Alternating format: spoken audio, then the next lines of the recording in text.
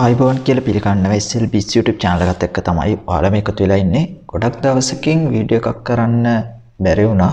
ඒ වුණාට මම මූල්‍ය වාර්තා බලද්දී හොඳ සමාගම් කීපයක්ම දැක්කා. විශේෂ මූල්‍ය වාර්තා ඇවිල්ලා තිබුණා. ඉතින් ඒකෙන් එක සමාගමක් තමයි මේ රේණුකා පුට්ස් PLC කියන්නේ.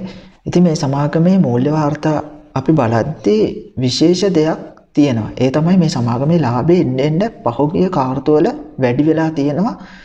විශාල ලෙස අන්තිම කාර්තුවේදී ලාභය වර්ධනයක් තියෙනවා.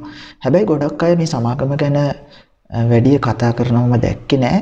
ඒ වුණාට මම මේකේ දැකපු විශේෂ කාරණා ටිකක් මේ වීඩියෝ එකේදී පෙන්වලා දෙන්නම්. මේක මේ සමාගම මිලදී ගන්නවත් විකුණන්නවත් ආයෝජන උපදේශක් විදිහට නෙවෙයි ඔයාලට පෙන්වන්නේ. අවධානයෙන් ඉන්න මේ වගේ සමාගම් ගැන සමහරලාවට අනාගතයේදී දිගටම මේ විදිහට ලාභය වර්ධනය වුණොත් හොඳ ප්‍රතිලාභයක් ගන්න එක අවස්ථාවක් වෙන්න පුළුවන්. ඉතින් මේ සමාගමේ අපි බැලුවොත් එහෙම investing.com වෙබ්සයිට් එකට අනුව පහුගිය කාලෙදී ලොකුවට ලාභේ වර්ධනයක් තිබ්බේ නැති වුණාට දැන් ගිය අවුරුද්දේ 2021 වගේ අවුරුද්දේදී මේගොල්ලන් පාඩුවක් විදිහට තමයි දැක්වෙන්නේ සම්පූර්ණ මේ මූල්‍ය වර්ෂයේ අවසානයේදී. හැබැයි 2022 දී අපිට පේනවා යාළගේ ලාභය ටිකක් අනෙක් අවුරුදු වලට සාපේක්ෂව වර්ධනයක් තියෙනවා. එතකොට කාර්තුවෙන් කාර්තුවට අපි ගත්තත් අපිට පේනවා මේ 2021 දෙවෙනි ක්වාටර් පස්සේ ඇවිල්ලා තියෙන මේ කාර්තුවල විශාල ලාභ වර්ධනයක් තියෙනවා. ඉතින් මේ විදිහට ලාභය වර්ධනය වෙලා තියෙන ඇයි කියන කාරණේ අපි බලමු. ඒත් එක්කම ඊට කලින් අපි පොඩ්ඩක් බලමු මේ සමාගමේ කොටස් මිල ගණන් මේ වෙනකොට කොහොමද තියෙන්නේ පහුගිය කාලෙදී කොයි මට්ටමේද තිබිලා තියෙන්නේ කියන එක.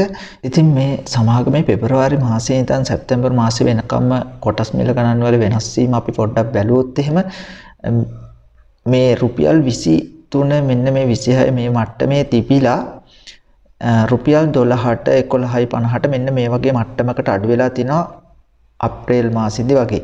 ඊට පස්සේ ටිකක් මිල ඉහළ ගිහිල්ලා නැවත අඩුවීමක් වෙන්නලා දැන් මේ මූල්‍ය වාර්තාවත් එක්කම වගේ කොටස් වෙළඳ පොලේ යම්කිසි ඉහළ යාමක් වාර්තා වුණා. එතකොට ඒකම නැවත කොටස් මිල රුපියල් 23 22 මේ සීමාවට ඇවිල්ලා තියෙනවා. හරි අපි දැන් බලමු මෙයාලා නිපදවන ප්‍රොඩක්ට් මොනවද කියලා. එතකොට රේණුකා පුට්ස් සමාගමේ මේගොල්ලෝ ඇග්‍රි පුට් එක්ස්පෝර්ට් විදිහට එන්න මේ දේවල් කරනවා. එතකොට ඇනුවල් රිපෝට් එකේ මේ තොරතුරු තියෙනවා. ඉතින් ඔයාලට පේනවා මොනවද මෙයාලගේ ප්‍රොඩක්ට්ස් කියලා. ඒකම අපි පොඩ්ඩක් කන්සියුමර් බ්‍රෑන්ඩ් පැත්තට ගියොත් එහෙම මේගොල්ලන්ගේ තියෙනවා රිච් ලයිෆ් කියන ඒ බ්‍රෑන්ඩ් එක මෙයාලගේ. එතකොට ඒ විදිහට ඒකිනුත් එයාලා ලාභ ලබනවා. ඒකම තව එයාලගේ බ්‍රෑන්ඩ් කිහිපයක්ම තියෙනවා. ඉතින් ඔයාලට පේනවා මෙන්න මේ විදිහේ දේවල් තමයි එයාලගේ නිෂ්පාදන වෙන්නේ. ඒකම මෙයාලගේ මොන මොන රටවල් වලටද මේවා අපනයනය කරන්න කියලා මෙතන දැක්වෙනවා. ඉතින් ඒ තොරතුරුත් එක්ක අපි දැන් බලමු මේගොල්ලන්ගේ පහුගිය කාලේදී ආපු රිපෝට් වල මොනවද විශේෂත්වයන් තියෙන්නේ කියලා. 2021 සැප්තැම්බර් 30 ආපු රිපෝට් එකේ බලන්න මෙයාලා කොටසකට ඉපීම විදිහට පෙන්වන්නේ රුපියල් 7 3යි. එතකොට ඒකේ වර්ධනයක් තියෙනවා ඊට කලින් අවුරුද්දට සාපේක්ෂව. එතකොට රුපියලක් වගේ තමයි මෙයාලා උපයලා තියෙන්නේ ඒ කාර්තුවට අදාළව. එතකොට 2021 9යි 30 ඒ කියන්නේ 2021 9යි 30න් අවසන් කාර්තුවට එයාලා පෙරලා තියෙන රුපියලක් වගේ එක කොටසකට. ඊට පස්සේ ආපු මූල්‍ය වාර්තාව. ඒ කියන්නේ 2021 12යි 31 ආපු මූල්‍ය වාර්තාවේදී මෙයාලා කාර්තුවකට උපයලා තියෙනවා රුපියල් 1.96ක්. බලන්න එයාලගේ ලාභය ඉතා විශාල ලෙස වර්ධනය වෙලා තියෙනවා ඒ කාර්තුව වෙද්දී. ඊටත් පස්සේ ආපු මූල්‍ය වාර්තාවේදී ඒ කියන්නේ 2022 3.31කින් අවසන් මූල්‍ය වාර්තාවේදී මෙයාලා කොටසකට උපයලා තියෙන රුපියල් 1.66ක්. එතකොට ඊට කලින් අවුරුද්දේ කවාටකේදී පාඩුවක් තිබිලා තියෙන රුපියල් 1.15ක. ඉතින් මම මේ කෙටියෙන් ඔයාලට මේ පෙන්වන්නේ ඔයාලට පුළුවන් මේ තොරතුරු බලන්න මේ report එක download කරගෙන ඊට පස්සේ බලන්න මේ අන්තිමට ආපු මූල්‍ය වාර්තාව ටිකක් විශේෂ එකක්. ඔයාලා බලන්න මේකෙදී රුපියල් 4.39ක් එක ක්වාට එකට උපයලා තියෙනවා. ඒක විශේෂම දෙයක්. දැන් මේ අනික් අපි බැලුවොත් එහෙම ඊට කලින් අවුරුද්දේදී මෙයාලගේ සම්පූර්ණ ලාභය විදිහට තියෙන්නේ රුපියල් 4.42යි. අවුරුද්දටම. හැබැයි මේ අන්තිමට ආපු මූල්‍ය වාර්තාවේදී අපිට පේනවා මෙයාලගේ ලාභය විතරක් තියෙනවා. ලාභය විතරක් තියෙනවා රුපියල් 4.39ක් එක කොටසකට.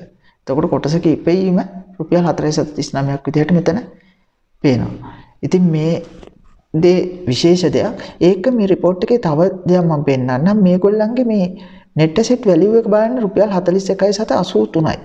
එතකොට කොටස ගණදුණු වෙන්නේ රුපියල් 22 වගේ මිලකට ගොඩක් අඩු මිලකට net asset value එකත් එක්ක බැලුවත් group එකේ ඒ වගේම company එකේ net asset value එක තියෙනවා රුපියල් 26.75. ඒකම මේගොල්ලන්ගේ තවත් විශේෂ දෙයක් තියෙනවා මේ report එකේ.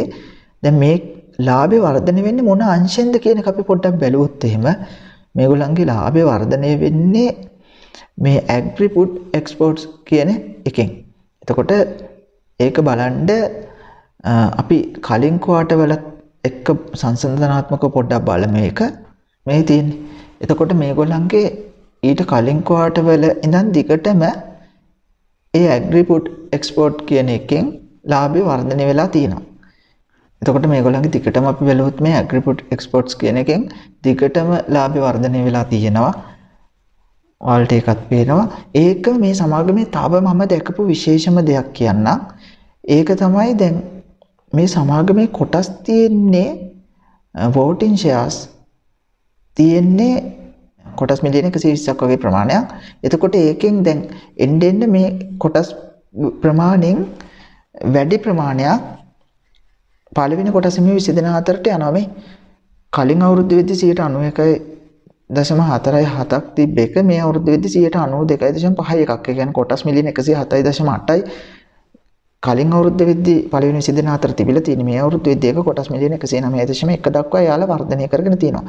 නන් වෝටින් බැලුවත් අපි බැලුත් එම කලින් අවුරුද්දේ කොටස් මිලියන 3.3යි එකක් තිබ්බ එක කොටස් මිලියන 3.3.3ක් විදිහට පළවෙනි 24 බෙදලා ගිහින් තියෙනවා.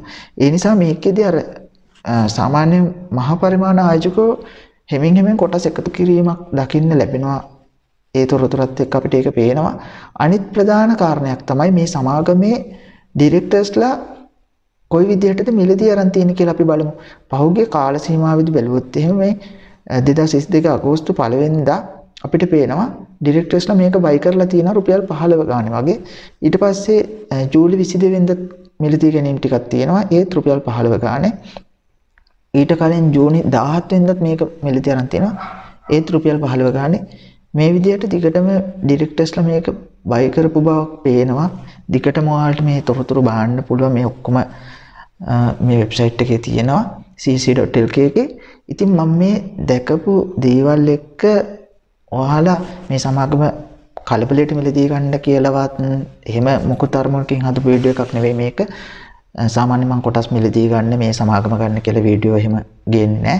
හැබැයි විශේෂ දේවල් දැක්කොත් මේ සමාගම් වල මම පෙන්නලා දෙනවා. මොකද හේතුව අපි ඒ කරුණු ගැන අවධානයෙන් හිටියොත් සමහරවිට ඒක ප්‍රයෝජනවත් වෙන්න පුළුවන්. දැන් ඊගාව මූල්‍ය වාර්තාවේදී මීටත් වඩා මේ සමාගම ලාභයක් වාර්තා කරලා තිබ්බොත් අනිවාර්යයෙන්ම කොටස් මිලේ වර්ධනයක් වෙන්න අවස්ථාව ඉතාම ඉහළයි. මම මේ විදිහට මතක ඇති කලින් වීඩියෝ එකක් හදලා තියෙනවා රිචඩ් පීරිස් එක්ස්පෝර්ට් කියලා සමාගමක් ගැන. ඒ සමාගම ගොඩක් අඩුවට තියෙන කාලේ.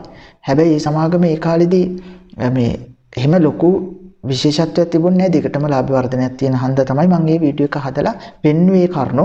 එතකොට අද වෙද්දි පේනවා මේ රිචඩ් පීරිස් එක්ස්පෝර්ට් කියන සමාගමේ ලාභ වර්ධනය වෙන විදිහ. ඒ වගේම තමයි මේ මේ රේණුකා පුට්ස් කියන සමාගමෙත් මේ විදිහට කාර්තුවෙන් කාර්තුවේ ලාභ වර්ධනයක් තියෙනවා සහ ඒක තාම ඉවර නැහැ. ඒ කියන්නේ දිගටම වර්ධනය වෙමින් තියෙන නිසා අවධානයෙන් ඉන්න එක වටිනවා. මොකද මේගොල්ලන්ගේ ව්‍යාපාරය හරි මේ මේ ලාභය තව වර්ධනය වුණොත් අනිවාර්යයෙන්ම මේක කොටස් මිලයේ වර්ධනයට බෙහෙවින් බලපාන්න ඉඩ තියෙනවා. ඒ වගේම තවත් මේ වැදගත් දෙයක් තමයි දැන් අපි දන්නවා පහුගිය කාලේ ස්පෝ ලංකා සමාගම. ඒකෙත් කාර්තුවෙන් කාර්තුවල ලාභ වර්ධන වුණා. එතකොට දිගටම ඊට පස්සේ මොකෝ උනේ කොටස් මිල සීක්‍රියෙන් ඉහළ ගියා. ඉතින් මේ කාර්තුව වෙද්දී ගොඩක් සමාගම් වල ලාභය විශාල ලෙස වර්ධනය වෙලා තිබේ. හේලිස් සමාගම, එක්ස්පෝ ලංකා සමාගම, ඒ වගේම රේණුකා පුරුෂේක, එතනින් ගියම රිචඩ් පීරිස් සමාගම් මේ හැම එකේම ලාභය ගොඩක් වර්ධනය වෙලා තිබ්බා.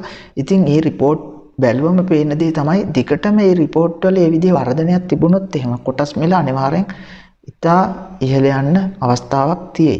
ඉතින් ඒ නිසා ඒ වගේ රිපෝට් ගැන අවධානයෙන් ඉන්න එක වටිනවා. අනිත් එක තමයි දැන් මේ රේණුකා පුට්ස් වගේ සමාගම් දැන් අපි දැක්ක රුපියල් 12ට මේ වගේ මිලකටත් ගනුදෙනු වුණානේ.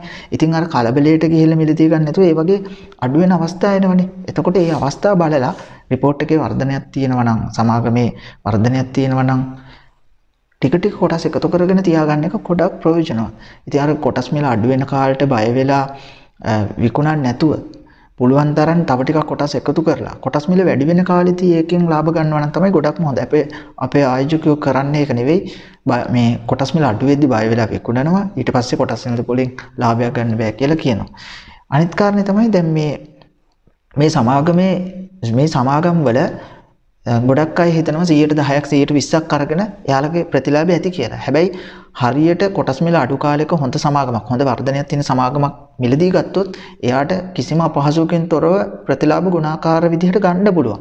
ඉතින් ඒක ගොඩක් අය හිතන්නේ අර කෙටි කාලීනව බලලා 100ට 5ක් 110ක් වගේ රිටර්න් එකක් ගන්න හිතන නිසා ඒක හැම වෙලෙම සාර්ථක වෙන්නේ. ඒ කියන්නේ ගනුදෙනු කරන එක හැම වෙලෙම අපිට සාර්ථකව කරන්න අමාරුයි. එතකොට ප්‍රතිලාභේ ගන්න බැරි අවස්ථාවක් આવුත් ඒ මුදල් ටික ඒ සමාගමේ හිර වෙනවා. එතකොට නැවත ගනුදෙනුවක් කර ගැනීම අවස්ථාවක් නැහැ. හැබැයි දීර්ඝ කාලීනව හිතලා සමාගම මිලදී ගත්තොත් එයාට ඇවරේජ් ප්‍රයිස් අඩු කරගෙන හොඳ ප්‍රතිලාභයක් එකෙන් ගන්න පුළුවන්. ඉතින් කොටස් වෙන පොඩේදී මේ විදිහ ආයෝජනය කරන දෙවර්ගයම අපිට වටින අවස්ථාව අනුව වැඩි ප්‍රමාණයක් ආයෝජනය කරලා හොඳ ඩිවිඩන්ඩ් එකක් ගෙවන හොඳ වර්ධනයක් තියෙන සමාගම් වල ඒකෙන් පොඩි ප්‍රමාණයක් ගනුදෙනු කරන්න යොදා ගන්න පුළුවන් නම් ගොඩක් හොඳයි නැත්නම් ගනුදෙනු කරන එක විතරක්වත් ආයෝජනය කරන එක විතරක්වත් කරන්නේ නැතුව දෙකම කරලා ප්‍රතිලාභ ගන්න පුළුවන් අවස්ථා දැක්කොත් ඒ ගන්න එක වටිනවා. ඉතින් මේ රේණුකා පුරුෂ වගේ තව සමාගම් කිහිපයක් මම දැක්ක නිසා මම ඒව ගැන ඉදිරියේදී කෙටි වීඩියෝ විදිහට ඔයාලට වීඩියෝ ටිකක් ගේන්නම්. ඒ වීඩියෝ බලලා ඔයාලත් මේ සමාගම් ගැන තව ටිකක් හොයලා මොනවා හරි තව මට මගහැරෙන්න කරුණු තියෙනවා නම් ඒවත් කමෙන්ට් එකක් විදිහට දාලා මේ තොරතුරු උපයෝග කරගන්න ආයෝජනයට ප්‍රයෝජනවත් වුණා නම් ඉතින් බොහොම ස්තුතියි මේ වීඩියෝ එක බලපුවාලා හැමෝටම සුබ දවසක් කියලා ප්‍රාර්ථනා කරනවා.